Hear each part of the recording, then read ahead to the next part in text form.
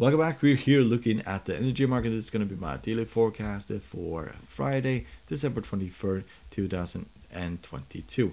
If you like support channel, we're going to hit the subscribe button down here in the corner, hit the like button and the bell button to see our newest videos, and let's get to it. So we're looking at the WTI oil, and the market has basically been all over the place today.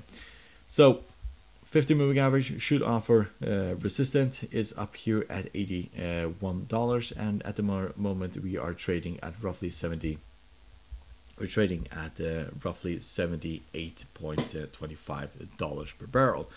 Um, expectations going forward world economy is most likely going to slow down but US still showed a, a lot of strength in its G, uh, GDP data that was released today, which was significantly higher than expected. But this market has run into trouble every time we get to towards the 200 moving average. Not every time, but the last two times we have got to the 200 moving average, it has broken down. And recently, it has been the 20 simple moving average, which has um, offered resistance in this market if you look in general for 2022, um, we have had a much ups and downs, uh, mainly due to the war in Ukraine. We saw this massive spike here, fell yet again, rallied, and then it just fell apart. So this usually looks like what happens when the world goes into recession and expectations for for economic growth going forward are lo- are low and um, therefore demand for oil will probably be less. So if we look at technical indicators, we can see the MACD is bullish, the stochastic is bullish, the RSI is flat, flat at this point, and therefore momentum has been to the upside after this sell-off. So question is whether or not we go towards the 50 or this uh, upper trend line or the 200 moving average before dropping lower.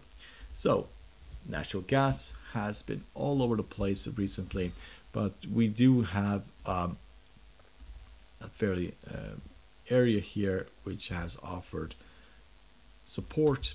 So roughly at down at the 4.8 in this um, in this range of the 5.2 is where we have seen this market uh, bounce and we have we are close towards this um, support area. If we drop below uh, roughly 4.8 down to 4.7 then we may go back towards the very low zero roughly 3.5 and if we manage to break above the 50 and the 200 moving average we may go and test the upper high zero roughly 7.5 so colder months are approaching are already here and therefore demand you should be increasing and therefore it could happen very similarly what we saw here uh, these uh, spikes go to the upside. But at this point we are at support and the question is whether or not we see a bit of a rally in the next few trading days MACD is bearish, stochastic is bearish, and the RSI is also bearish on the edge of being basically oversold. So,